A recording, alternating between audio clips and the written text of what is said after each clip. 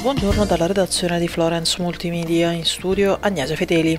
Il traffico è al momento regolare su strade e autostrade della Toscana. In Fipili possibili disagi per lavori all'altezza del turbone tra Montelupo e Ginestra nelle due direzioni.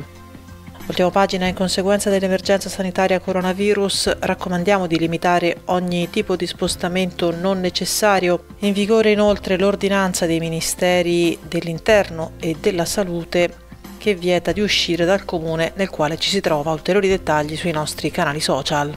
Prima di salutarci, per il traffico urbano di Firenze segnaliamo che in via dei Serragli sono ripresi i lavori di riqualificazione di sottoservizi e carreggiata nell'ultimo tratto. Sono in vigore divieti di sosta e di transito a fasi da via di Serumido a piazza della Calza. Muoversi in Toscana Info è un servizio in collaborazione con Regione Toscana, Città Metropolitana di Firenze e Comune di Firenze. Per ora è tutto, buon viaggio!